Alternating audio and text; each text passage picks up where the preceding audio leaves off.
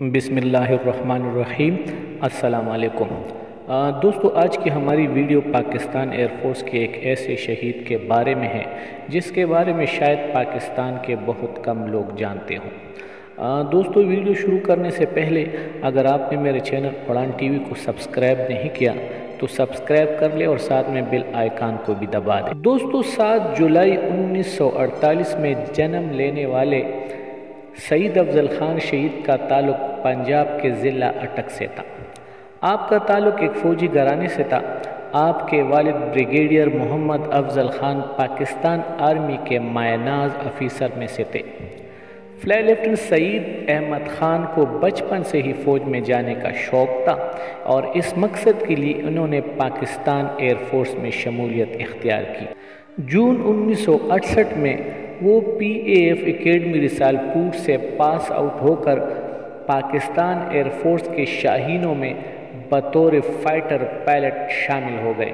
Fighter conversion course مکمل کرنے کے بعد آپ کو پاکستان ایئر فورس کے نمبر اٹھارہ سکواڈن میں تعینات کیا گیا دوستو، فلائی لیفٹنٹ سعید افضل خان شہید بہت جلد ہی پاکستان ایئر فورس کے بہترین پائلٹ کے طور پر پہچانے جانے لگے۔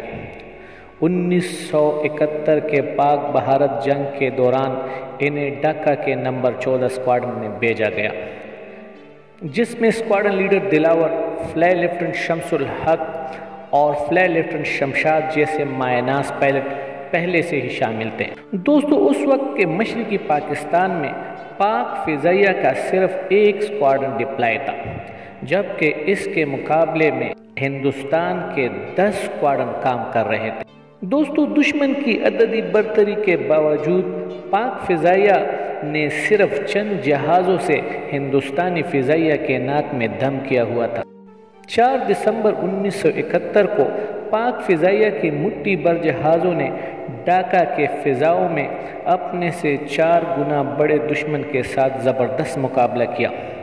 اور دشمن کو واپس بھاگنے پر مجبور کر دیا۔ اگلے صبح پاک فضائیہ کے دو مشن جا چکے تھے، جبکہ تیسری مشن کے دو جہازوں میں سے ایک جہاز فلائی لیفٹنٹ سعید افضل خان کا تھا۔ ان کا سامنا ہندوستانی فضائیہ کے چار ہنٹر تیاروں سے ہوا۔ سعید افضل خان نے پلک جپک کر ایک ہندوستانی طیارے کو مار گرایا۔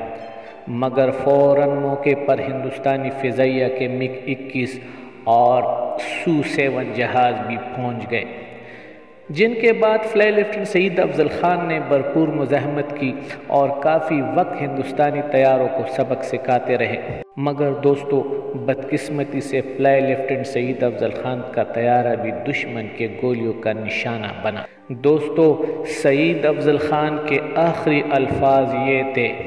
میرا طیارہ ہٹ ہو گیا ہے اور میں ایجیکٹ کر رہا ہوں۔ دوستو، سعید افضل خان نے اپنے طیارے سے ایجیکٹ کیا، مگر بدقسمتی سے وہ جس علاقے میں گرے، وہ علاقہ باغیوں کے زیر اثر تھا۔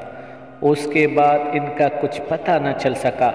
بعد میں پاکستان نے بہت کوششی کی کہ کوئی سراغ مل جائے، مگر بدقسمتی سے یہ ممکن نہ ہو سکا۔ دوستو چینل کو لائک اور سبسکرائب ضرور کریں۔ ملتے ہیں ایک نئی ویڈیو کے ساتھ۔ اللہ حافظ۔